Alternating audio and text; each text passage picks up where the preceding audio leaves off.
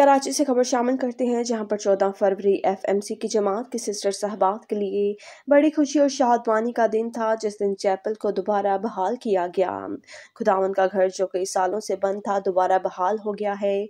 ये दारुलसकून की एक शाख थी, जो ज़यीफ़ुलमर लोगों के लिए मखसूस है। इस अदारे में तकरीबन एक सौ तीस मर्द और खवतिन हैं। इबादत का आगाज़ आर्च डायसिस ऑफ़ कराची के चौपान, आला बिशप बैनी मारियो टेरियोस ने किया और साथ फिकर जनरल फादर एडवर्ड जोसेफ भी मौजूद थे।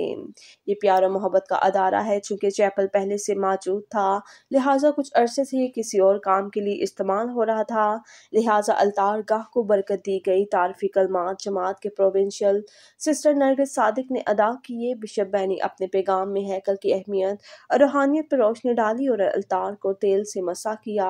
आखिर में सिस्टर फजीलत और कोकी ने इजहार तशक्र पेश किया। फिर अलतार को गिरजाघर में रखा और तख्ती को बरकत दी गई इबादत के अख्ताम पर रंगारंग प्रोग्राम का अहतमाम किया गया।